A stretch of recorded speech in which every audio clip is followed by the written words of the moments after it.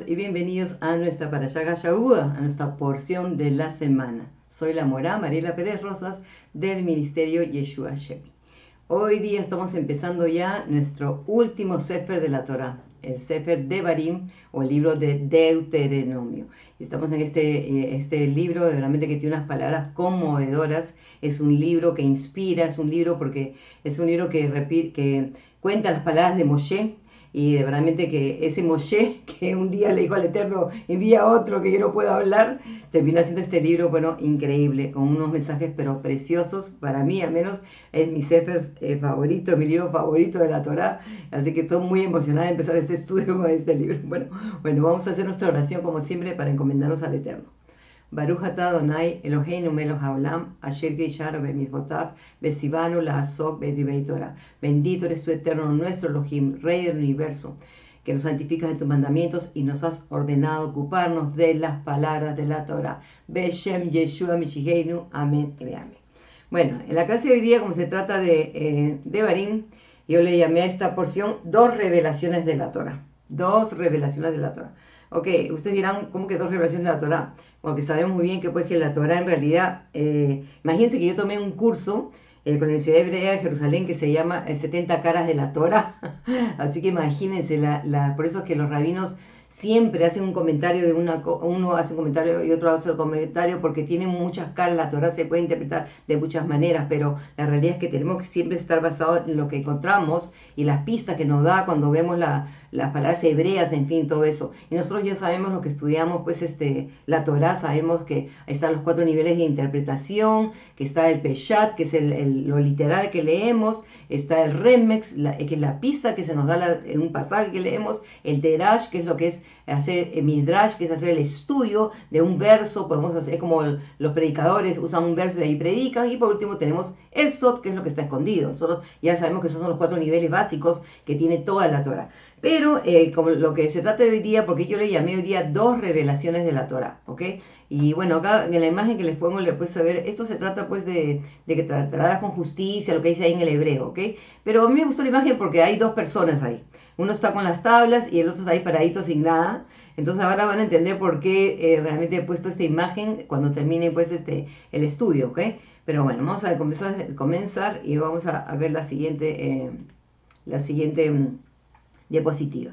Ok, acá quiero enseñarles que acá lo que dice es Mishnei Torah, así como se le conoce también al, libro de Deuteronomio o al Sefer de Barim. Ok, Mishnei eh, Torah significa, puede significar dos cosas, ya sea segunda Torah o repetición de la Torah. Ok, este, porque este eh, Puede, puede, significar los dos, las dos, las dos palabras pueden significar lo mismo, pero también se usa como la, este, la palabra Mishnah, por ejemplo, donde viene la Mishnah, que es este, lo, lo primero que se escribió de, de, la tradición oral de la Torah HB que la Torah oral eh, en realidad pues es, es, la repetición, o sea, pero son con otras palabras. Entonces, nosotros sabemos pues que esta Torah en realidad eh, eh, o sea, este, esta, segunda Torah, este Mishneh Torah, que es así como Levítico se conoce como eh, Torah Kohanim, la Torah de los levitas, de los sacerdotes. Y así, Deuteronomio tiene, pues, este, es conocido como la segunda Torah o la repetición de la Torah. Pero en este caso, como les dije, ya no es el Eterno que va a hablar, como hemos visto en todos los primeros pasajes, cuando, en, sobre todo en Éxodo, en Levítico, en Número, cuando el Eterno le dijo a Moshe, dile a los hijos de Israel. Eso no lo vamos a encontrar mucho aquí, sino acá realmente lo que va a hacer es las palabras de Moshe las palabras de Moshe dirigidas a Am Israel, porque sabemos que ya en el libro Números acabó con la muerte de Minan, de Aarón, y ya Moshe está también para morir,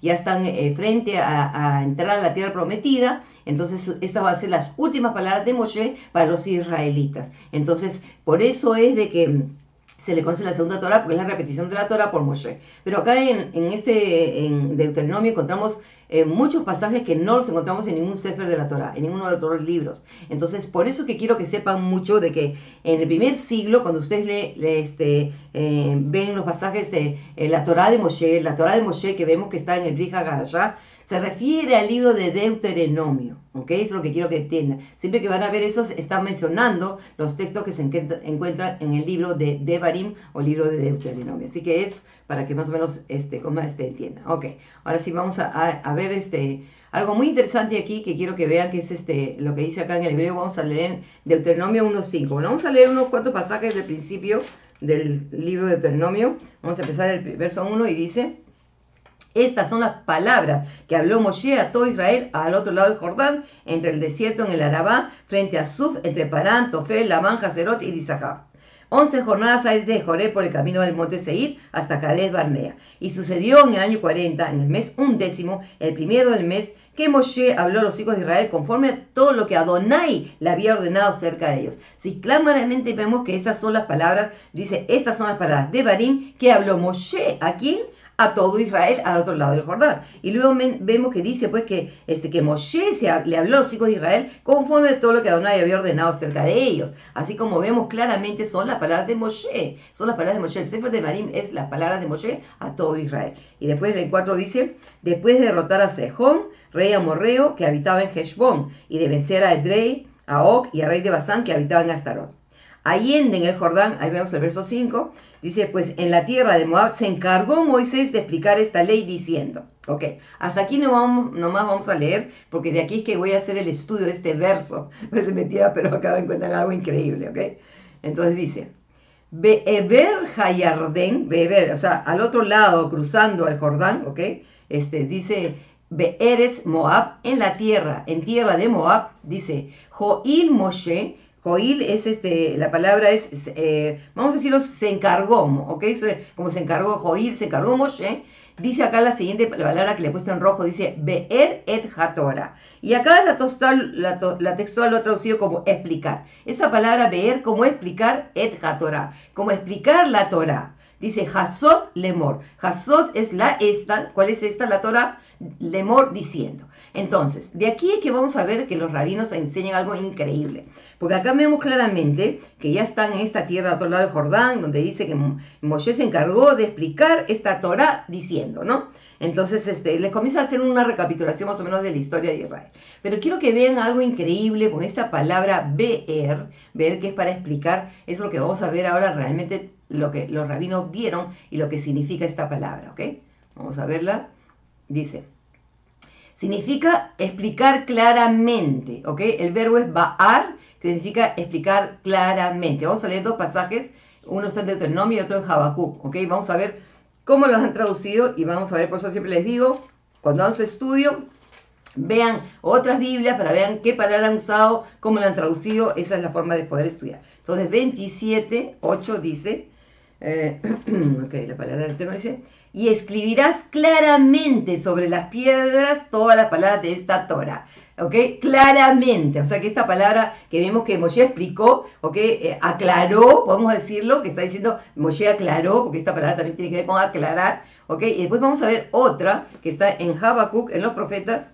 Habacuc, ahí ustedes saben que yo les pongo la concordancia Strong para que ustedes puedan este, buscar otros pasajes, aunque creo que de esta palabra no hay muchos, así que, no, así que la memoria no me falla, aunque ya a veces ya con la edad la memoria comienza a fallar, pero bueno, el nombre del Eterno no. ok, Habacuc 2.2 dice, y Adonai me respondió y dijo, escribe la visión y esculpe, escúlpela en tarabillas para que cualquiera, cualquiera la pueda leer con rapidez.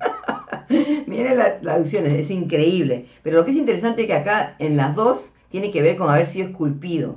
¿okay? La primera fue en las tablas, de, en lo que escribió en Deuteronomio, lo que vimos también esculpido en la piedra, y ahora dice lo mismo, pero acá dice para que la gente lo pueda leer con rapidez. Esta es una pésima traducción de la textual. Por eso yo les digo más, hermanos, que tenemos que empezar a buscar las palabras en el hebreo. ¿Por qué? Porque si nos confiamos de lo que nos ponen acá en las traducciones, es una crisis. ¿Por qué no lo tradujeron exactamente igual como en de Barín de 27.8?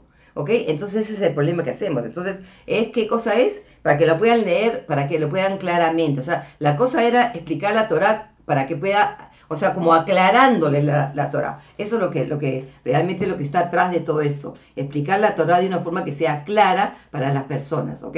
ok, vamos a ver. Dice, los rabinos enseñan que esta forma de enseñanza se dio desde los tiempos de Moshe hasta los tiempos de Esdras y Nehemías. El método biur halajá, que es lo que estamos viendo, biur de la palabra esta, este, que estamos viendo, halajá, la forma de caminar los mandamientos, es una forma de análisis que empieza deduciendo los principios fundamentales y de ahí todos los detalles pueden ser derivados de estos principios. Entonces, ¿qué es lo que están diciendo los rabinos? Que este método que le explicó claramente Moshe, va a dar esta palabra, esto fue usado desde los tiempos de Esdras, o sea, desde Moshe hasta los tiempos de Esdras y Nehemías, ¿ok? Explicar claramente, ¿ok? Lógicamente, pues, este, ¿cómo se llama? ¿Por qué es que los rabinos dicen esto? Porque además, hermanos, imagínense, pues, el día de hoy no tenemos, pues, a Moshe, no tenemos a Ezra, el Levita, no tenemos a Nehemia, otros de los que realmente, pues, este, fueron los que en verdad escribieron, eh, ¿cómo se dice? Eh, eh, formatearon toda la Torah, las escrituras, y que ellos podían explicar claramente las cosas. Conforme pasa el tiempo, pues, ya no se, no hay, no se, no puede haber una persona, digamos, que pueda explicar claramente. Por eso es que los rabinos debaten y dicen esto significa esto, no, porque en este pasaje dice esto, porque en este pasaje dice esto, y es por eso que los rabinos entienden de que, por ejemplo, cuando venga el Mashiach, él va a poder explicar la Torah como nadie, porque esa es la idea, poder explicar, dar los datos. Entonces, estamos viendo esto que es increíble, pero van a ver algo también muy interesante, que realmente, este, que esta misma palabra, esta misma palabra, Ok, bueno, acá es, de esto este, dicen los rabinos también sobre esta, este, este, este, esta palabra Baar, como lo van a ver ahora, dice, como un pozo, la efusión creativa del aprendizaje fluyó como un manantial desbordante y un río que nunca se seca. ¿Qué están diciendo? Que de los tiempos de Moshe, de Nehemías, eso, en ese tiempo cuando se explicaba esta Torah, algo esa palabra, va claramente, eso que fluyó, fluyó como un manantial desbordante y un río que nunca se secaba. ¿Por qué? Porque explicaban y explicaban con claridad, con claridad las palabras de la Torah. Pero ahora van a ver por qué los rabinos hacen este comentario. Porque este es increíble. Okay, vamos a regresar otra vez. Espérense, le voy a regresar otra vez este para que vean, para que, para que tengan memoria, esto de aquí quiero que vean aquí, ahí está. Quiero que lo vean esto en toda la pantalla para que vean claramente cómo se escribe esto. Baar, y miren la palabra, la concordancia Strong es 874, que estamos viendo tiene que ver con explicar claramente, ¿ok? Ahora, y vamos, vemos que el comentario de los rabinos es que dicen de que pues este era como un río que fluía, ¿no? Ok, como un pozo, la fusión creativa, fluyó como un manantial devorante de un río. ¿Por qué dicen esta palabra? Porque miren, amados hermanos, la misma palabra, o sea, hay dos palabras que le puso la concordancia Strong para pozo, que es ver, es exactamente igual a lo que es enseñar claramente, ¿ok? Entonces por eso ellos se este, relacionan que la, la enseñanza fluía como un manantial de agua. Entonces acá vemos esa palabra ver, ahí yo les puse 875 y 877 que son eh, las dos eh, números de concordancia Strong que, que el señor Strong le, puso pues este a lo que es eh, pozo, ¿ok?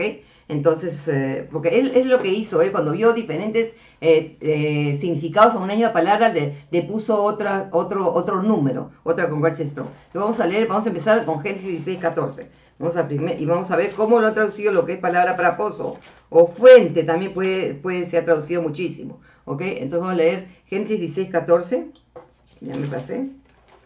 Génesis 6.14 y dice, por eso llamó el pozo Beer la Jairo y He aquí está entre Caes y Beret. Ok, ahí está. El pozo que, Beer, el pozo es Beer, de esa palabra este, Beer, lo que estamos viendo aquí, dice la Roi, del que me ve, la Jai, el que vive y me ve. Ok, eso es lo que llamo. Entonces estamos viendo ya aquí, aquí estamos viendo de, ya, de, de, o sea, de arranque, estamos viendo una, una, mm, vamos a decir, una pista o una alusión a que el eterno es como un pozo. ¿Ok? Eso es lo que quiero que vayan captando. Vamos a ver la siguiente. Números 21, 16, 18. Números 21, 16, 18. 21, 16, 18 dice, ok, esto es lo que ya yo les enseñé en otra clase pasada, lo del pozo, el, el pozo, la roca de Miriam, eh, lo que sí en los estudios se acordarán, ok, dice, Dice, entonces cantó Israel este cántico, brota, oh pozo. ¿Desde dónde le dije leer? 16.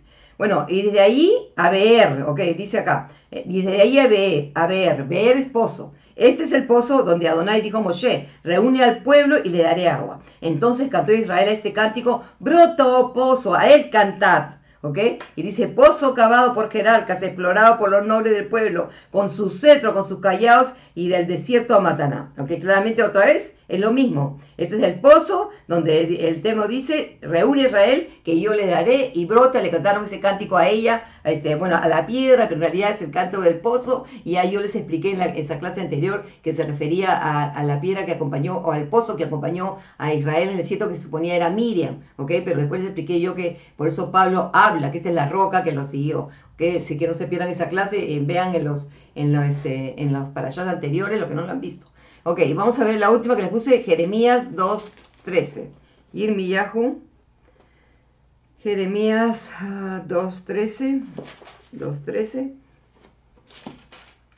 Y la palabra del Eterno dice, porque dos males ha hecho mi pueblo. Me abandonaron a mí fuente de agua viva y cavaron para sí cisternas, cisternas rosas que no retienen el agua. Entonces, aquí la palabra para fuente, eh, lo más probable es que sea la palabra ayin, que es la misma, para, que, que, es otra palabra para fuente, pero acá la palabra ver está en lo que se ha traducido como cisternas. Cavaron para sí cisternas, o, va a decir, o vamos a decirlo pozos, ¿ok?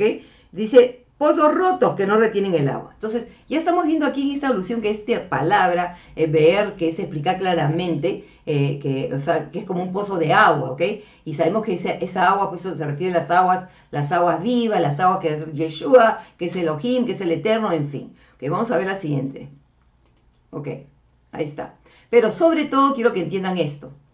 La Torah la Torah era este, considerada como un pozo de aguas vivas. Ahí está, Be'er Maim Haim. Cuando vemos esto, se refiere a la Torah, a la Torah. Así que claramente, pues, no hay este, este, e, es bien ver como que Moshe está haciendo como una, una, vamos a decir así, como una, un, una contraparte cuando dice este y explicó claramente la Torah, o se está viendo claramente esa palabra ver que tiene que ver pozo y la Torah. ¿Por qué? Porque la Torah es esa agua, ese, ese, pozo, ese pozo de agua que fluye, que da vida, que realmente, por eso que dice este, este, ¿cómo se llama? Este, le dio sed de la palabra y hambre de la palabra. O sea, esto es una aplicación a la Torah. Entonces, este vemos, este método, según los rabinos, de, que esa, la Torah nos puede saciar nosotros como ese, esa agua, eh, o sea, mejor dicho, las explicaciones, la enseñanza de la Torah, ¿okay? que nos podía saciar como un pozo de agua viva, ¿okay? se dio desde el tiempo de Moshe hasta Nehemías.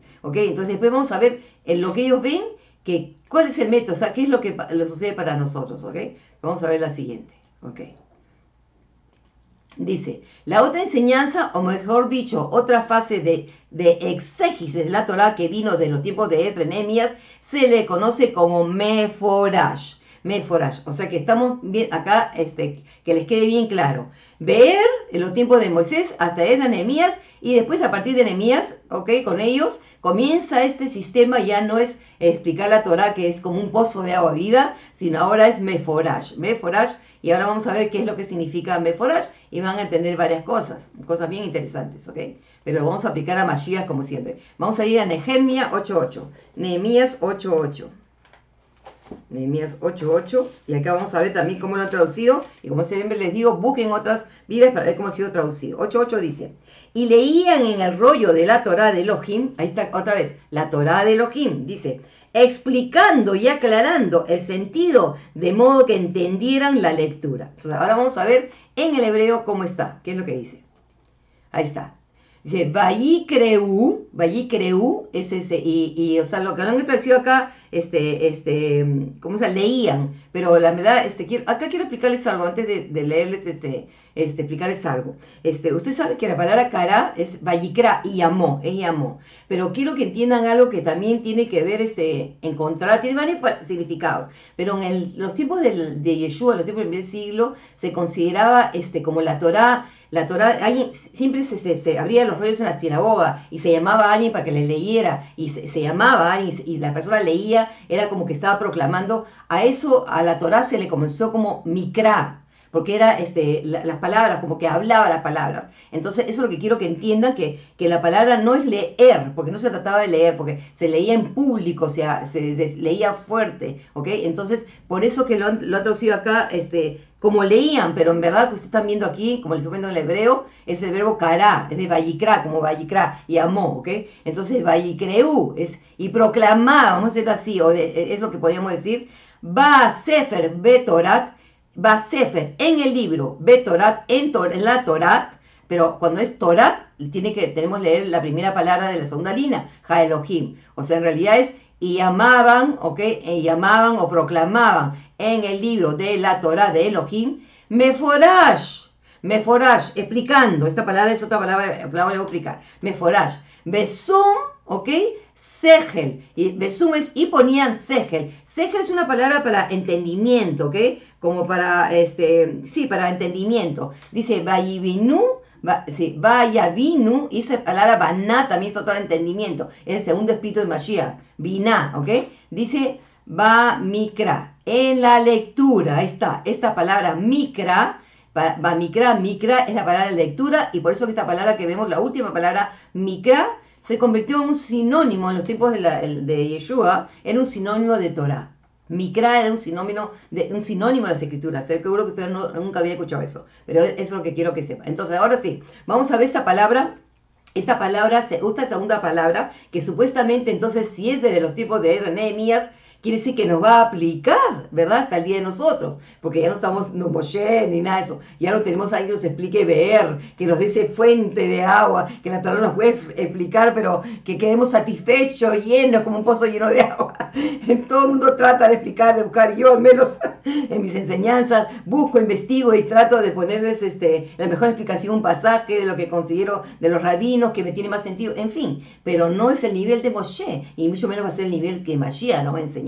Entonces ahora vamos a ver el segundo, este segundo nivel, de verdad que vamos a ver cómo es increíble que nos aplica a nosotros a estos días, ¿ok? Ahí está. Porque la raíz es parash, ¿ok? Que significa extender y también significa declarar. Pero ahí les quiero decir algo.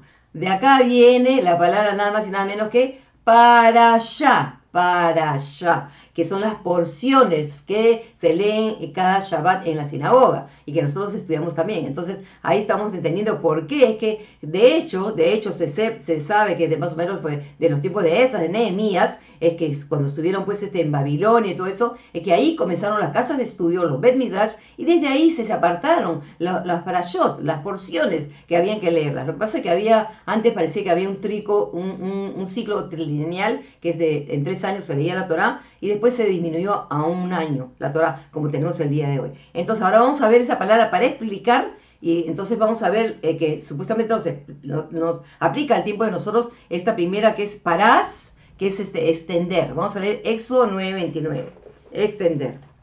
Entonces, ahí vamos a entender también este, cómo, eh, por, qué los, por, por, qué los rabinos enseñan, la forma que enseñan, ¿ok?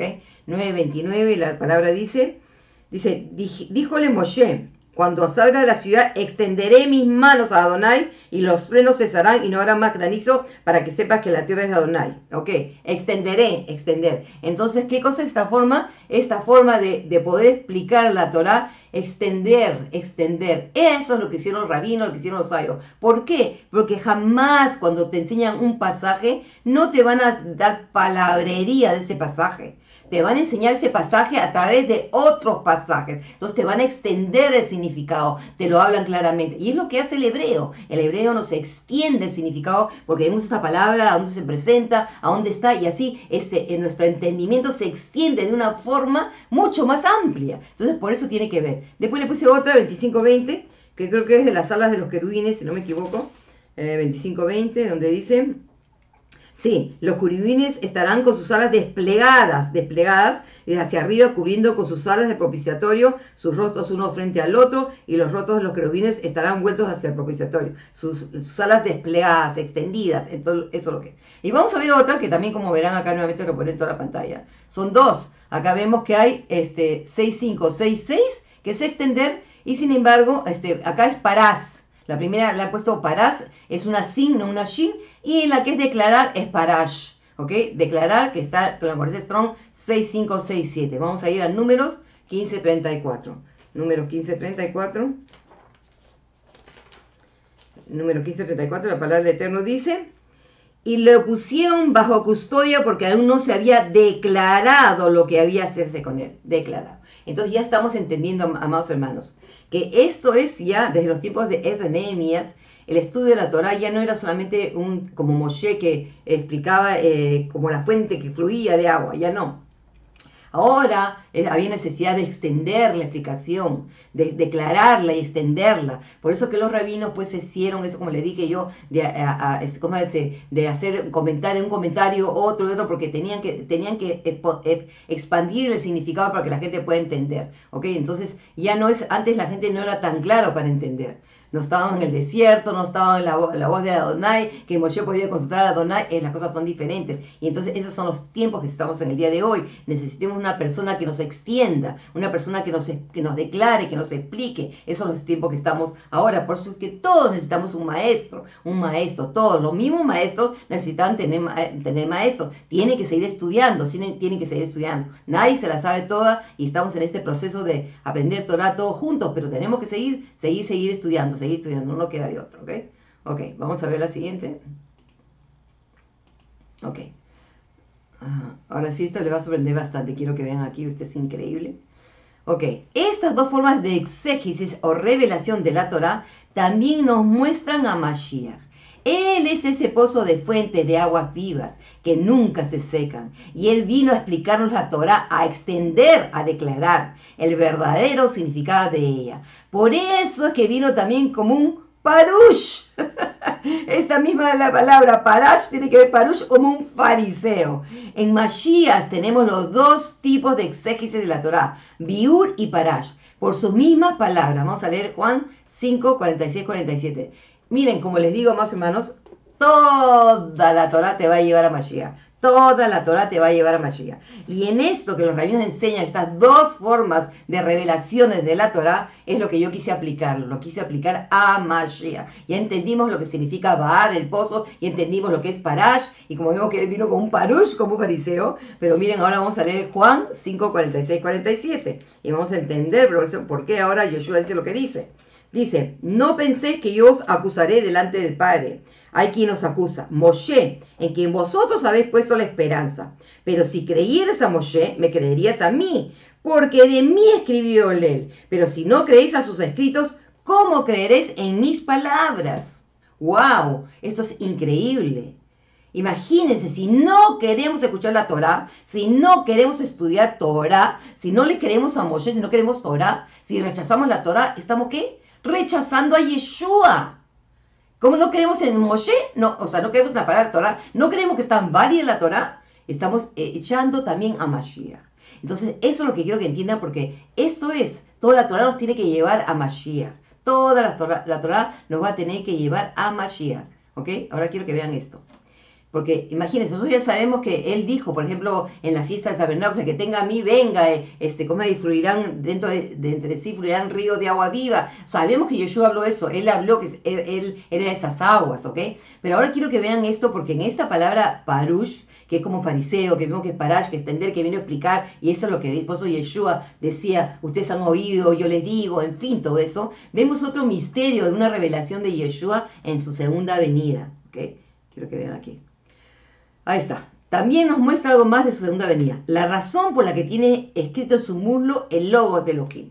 Y porque viene como jinete en un caballo como guerrero. Ok, vamos a leer este pasaje, porque lógicamente ya todos nosotros lo conocemos, pero ahorita le voy a hacer la, relación de esto, que realmente se, van a sorprender increíblemente. Apocalipsis 19, 11, 16, y dice, ok, ¿Por qué razón? Viene en el caballo, porque mira lo que dice. De verdad que esto es pero maravilloso. Dice, y vi el cielo abierto, y aquí un caballo blanco, y el que lo montaba, él es fiel y verdadero, y con justicia juzga y guerrea. Sus ojos son llamas de fuego, y hay muchas diademas sobre su cabeza, donde tiene un nombre escrito, el cual nadie conoce sino él mismo. Dice, está vestido con ropas empapadas en sangre, y su nombre es el verbo de Elohim el verbo, el logo de Elohim, ¿ok? Dice, y los ejércitos celestiales vestidos de lino fino, blanco y limpio, los seguían en caballos blancos, ¿ok? ¿A dónde dice esto? Dice, de su boca sale una espada aguda para herir con ella a las naciones, y los pastoreará con vara de riero. Él pisará el lagar del vino del furor de la ira de Elohim Todopoderoso, y en la vestidura y en su muslo tiene un nombre escrito, Rey de Reyes y Señor de Señores. Melech Hamlachim y Adon Adonim. Ok, acá quiero que vean algo. Este, ¿Por qué es que te presenta que viene con este caballo? ¿Por qué? ¿Por qué? ¿Por qué? Si sabemos que, que, te está diciendo de hecho de que es el logo, la palabra hecha carne, y sabemos que Juan empieza su, su, su, su evangelio, su, su epístola, empieza como, es en el principio del verbo, el Elohim, que se, acá hay algo, algo, algo más de la revelación, de esta revelación con la, con la, o sea, de la Torah, con Yeshua, viniendo en este jinete caballo blanco. Quiero que vean aquí, ¿ok? Ok, vamos a leer primero Bereshit 59 y de ahí se lo voy a explicar. Bereshit 59. Por eso que esta es la forma de enseñanza, el método de poder extender, de ver el verso donde la palabra no se presenta otra palabra y así se nos extiende toda esta cosa maravillosa de poder ver a Mashiach. Porque esa es la idea, amados hermanos. ¿Para qué estudiamos Torah? Es para ver a Mashiach. ¿Ok? Miren, ay, de verdad que esto es lindo. Y por eso yo vivo enamorada de su palabra, porque cuando es que encuentro, me gozo, digo, wow, Dios mío, Dios mío, increíble, ok. 59 dice, también subieron, 59 fue, sí, 59 dice, también subieron con él carros y jinetes, resultando el cortejo en extremo honorable. Mire cómo la traducción textual, pero quiero que vean esto en el hebreo, a malos. ok, Vayaal y Mo, Vayaal y subió y Mo con él, Gam Rejef, Rejef es caballos o, jinete, que se puede traducir, Gam Parashim, Parashim, ¿qué es la palabra Parashim? Es la palabra para, para, ¿cómo para jinetes, ¿ok?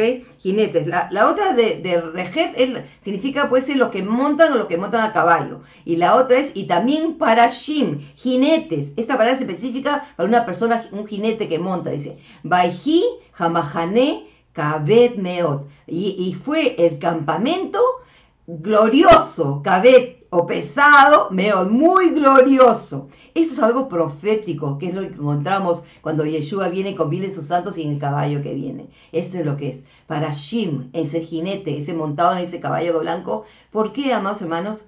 ¿Por qué es la Torah? Porque te está diciendo que es el verbo, es el verbo, tienes un muslo, el verbo de Elohim, la palabra el verbo. Y estamos viendo que una de las métodos de entender esta, esta Torah es parash, entonces es lo que, lo que vemos, esta, esta relación es increíble, increíble. Solamente un judío del primer siglo pudo haber puesto estas palabras de esta forma, porque está transmitiendo. Juan, Juan te pone este, su, mensaje, su mensaje en el, en el sot, en el, en el, en el, en el remes, en la pista, en el escondido, en el hebreo, en todo esto. Y nosotros por eso tenemos que aprender este método, más o menos, para poder entender, si no, no vamos a poder entender.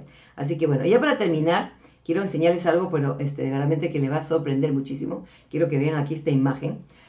Ok, la avenida de Yeshua, eso es lo que hemos leído ahorita, el caballo blanco, es sus ropas rojas, donde dice que es el logo de Elohim, y viene con miles, qué sé yo, y todo eso. Y bueno, más hermanos, creo que todos nosotros lo que están viendo acá a la izquierda están viendo pues el coronavirus. El coronavirus, que es ese virus que se le conoce como coronavirus, no solamente porque, porque tiene como una corona y tiene como unas espinitas, Así es lo que quiero que vean. Así, lo, así es que lo, explican de lo que ven en, el, ¿cómo se llama? el laboratorio. Tiene coronas y tiene espinitas. Piensen en lo que les estoy diciendo.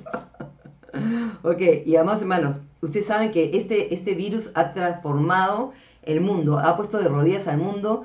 Creo que em, nadie se imaginó nunca vivir los tiempos que hemos vivido. Este año ha sido un año increíble que a veces me pongo a pensar 2020, 2020, 40, 40, cuarentena, que verdaderamente que estamos, y sobre todo nosotros los creyentes que hemos empezado las fiestas en cuarentena, y que lo más probable es que terminemos, como he venido diciendo, todas estas fiestas en cuarentena, todo este año es un, como un año de verdaderamente este, que no sabemos qué eso nos presenta más adelante.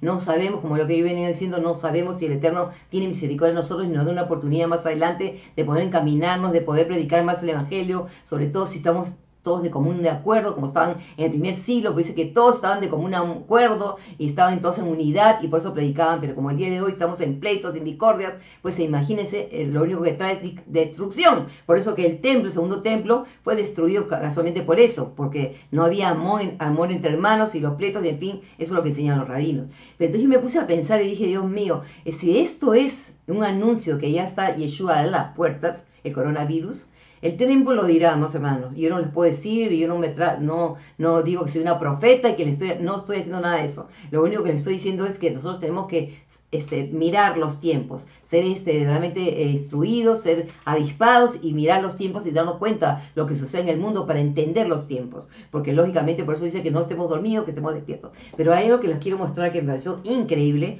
porque a mí me, gusta mucho, he investido mucho en la gematria, la gematria tiene mucho sentido. Por ejemplo, les digo, este, la palabra Mashiach, que es 358, tiene la misma gematria de Nahash, la serpiente. ¿Por qué? Por eso que entendemos el anticristo, el antimesías, que siempre se ha querido poner en lugar de Mashiach. Y eso no es casualidad que los dos tengan la misma gematría o el mismo número. O sea, para los que no saben lo que es la gematria, es cada letra eh, consonante hebrea tiene un valor numérico, así como los, números romanos, que son unas letras. entonces, este, una palabra, según la, consonante que tenga, tiene un, valor numérico, ¿ok? Y lo que les voy a enseñar ahora es eh, de verdad que les va a sorprender muchísimo. Porque como le dije, yo no estoy diciendo que esto sea el anuncio de la venida Mashiach, pero creo que podríamos de verdad tomar atención y darnos cuenta. Acuérdense lo que le dije, coronavirus, corona y espinas. Ahí está, corona y espinas. ¿Ok? La primera venida y la segunda venida de Yeshua. Pero quiero que vean aquí algo increíble. Ahí les he puesto la palabra en hebreo para corona. Corona, o sea, la palabra eh, se puede transliterar. Cuando ustedes transliteran en, en, el hebreo corona, la palabra corona tiene una gematria de 367. Y la segunda palabra que venga abajo dice Mashiach bo, Mashiach viene. Y Mashiach viene tiene también la gematria de 367. Espero que hayan entendido esto. La palabra corona y la palabra Mashiach bo tiene la misma gematria. Y lo que le he puesto acá las imágenes es por eso, porque este virus tiene corona, se llama corona y tiene espinas. Y así que yo creo que de verdadmente, amados hermanos, pues no sé si será casualidad o no casualidad, yo no creo en casualidades, como dicen, no en coincidencias, sino en diosidencias. En eso sí creo yo, me pareció increíble, increíble. Así que, amados hermanos, estamos viviendo unos tiempos, pues, de verdadmente increíbles, increíbles. Sobre todo, entender que esta Torah que estamos aprendiendo es para que amemos cada día más a Mashiach porque amados hermanos, verdaderamente, ¿de qué somos verdaderamente estudiosos de la Torá? Si, no, si, si esa palabra encarnada no, no mora en nosotros y no, no se penetra lo más profundo de nuestro corazón, de amarlo con todo nuestro corazón, con toda la mente, con todas nuestras fuerzas, de poder pasar tiempo en su palabra, que son esas aguas que nos sacian, es, esa, todo lo que es Mashiach es lo que es la Torah. Y es por eso que estudiamos y estudiamos y todos los años volvemos a repetir la Torah y volvemos a repetir la Torah, porque es la única forma de llenarnos, llenando de su palabra, es que vamos a poder recibir la Torah como un pozo, como esas aguas, vamos a estar llenos de esas aguas. Y acuérdense que el agua también es una simbología del espíritu. ¿ok? El Ruach tiene varias simbologías. Entonces, eso es lo por eso hacemos. Pero sobre todo, pues, ¿para qué? Para poder actuar sobre eso que aprendemos. Porque si solamente somos oidores y no hacedores, como dijo Rab Shaul, en vano estamos estudiando, más hermanos. Tenemos que cambiar, no solamente por lo que estudiamos, por los métodos de magia, porque todo va a ser siempre por sus méritos. El día que vamos a estar en su presencia no va a ser por lo que yo he hecho, no va a ser por cuánta Torah yo sé, no va a ser porque, porque pasé mucho tiempo, no, nada de eso. Siempre y siempre, siempre va a ser solamente por los méritos de Mashiach. Ninguno de nosotros, como dice creo que en un Tejilim, que ninguno puede parar la, la cota por su vida, por su alma, nadie pero sí fue pagado con la sangre, con la sangre preciosa de nuestro Mashiach. Con eso se nos compró, se nos compró y se nos compró y cuando somos comprados nos convertimos en siervos y un siervo tiene que servir y cada uno en su llamado y eso es lo que tenemos que hacer. Así que estamos en este tiempo, amados hermanos, de verdaderamente este año 2020 eh, pues nos ha sacudido y bueno, lo único que yo le pido al Padre, de verdad que tenga misericordia de nosotros, que nos perdone y que nos dé una oportunidad que no empiece, sea esto el inicio de una tribulación que va a venir y venga más caos y caos y venga al fin prontamente. Creo que todavía podemos tener más tiempo de enseñar a otros, más tiempo, pero sobre todo si nosotros que enseñamos no nos ponemos en orden, pues en vano estamos, el Eterno está levantando maestros, porque están levantando maestros para confusión y no para unión, no para llevar a la unidad del pueblo, que es lo que necesitamos. Porque siempre vemos por eso desde el principio, cuando Jesús se fue, el pueblo estaba unido en el mismo sentir y así tenemos que estar. Solamente así es cuando vamos a poder estar como un pueblo unido, clamando al Eterno y el Eterno va a poder escuchar, escuchar nuestras plegarias y, actuar sobre ellas. Porque si no, es decir, es una, una crisis.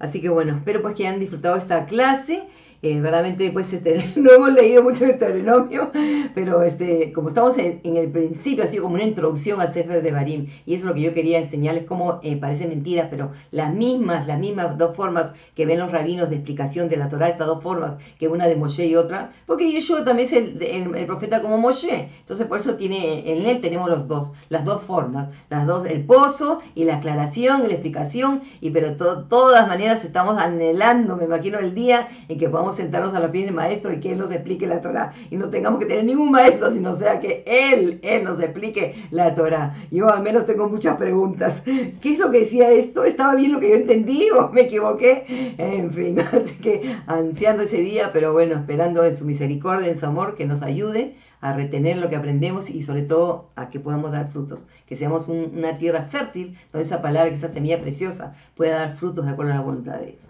Así que así, así, estamos. Así que será hasta la próxima, dos hermanos. Agradecida por su apoyo, verdaderamente enormemente en estos tiempos tan difíciles que estamos viviendo. De verdad que de todo el apoyo que puedan darnos al ministerio, de verdad es muy apreciado.